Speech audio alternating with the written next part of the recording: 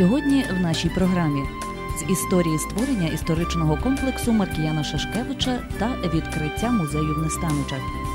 Радикальна акція протесту на автотрасі Радехова. Українська православна громада збагатилася ще однією святиною. Понищено відпочинкову зону. Традиційне свято осені в дитсадках Радихівщини. Вітаю вас в ефірі телестудії Радехів. Інформаційна програма Тиждень.